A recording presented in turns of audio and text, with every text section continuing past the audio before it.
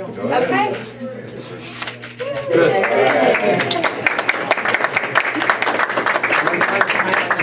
BusinessJournalDaily.com. Three Minutes With is brought to you by Farmers National Bank. I like a bank that's a pillar in my community. I like a bank so cutting edge, they have a lab branch. We are so alike. Well, we do both bank at Farmers National Bank. Farmers. Stand strong. We are demonstrating our expanded growth with Steward Healthcare and with the addition of the um, specialty care suite with our general surgeon, Dr. Giuseppucci. Uh, with Dr. Giuseppucci comes advanced robotic training, and um, we are really focused this year on um, bringing to our community something that they haven't historically had with our robotics program. We are so excited. I, I can't even explain to you what it means to have uh, robotically trained specialists in this area. And with Dr. Giuseppucci and the other general surgeons in the market, um, I think it elevates the entire the entire um, organization. We look for um, high quality physicians in every area that we have in the hospital. So it's just part of doing our um, homework.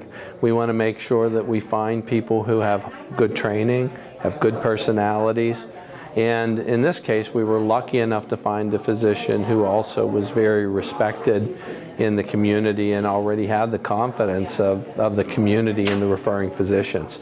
So, you know, it was kind of the trifecta, and, and we were uh, lucky that he wanted to join and help grow something uh, like we're going to grow here at Trumbull. Robotic surgery is a step up with technology in mean invasive surgery.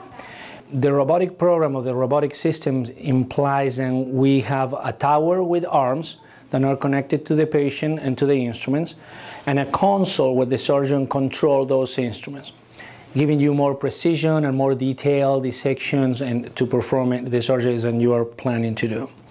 It's mean invasive surgery because the incisions are all 8 millimeters.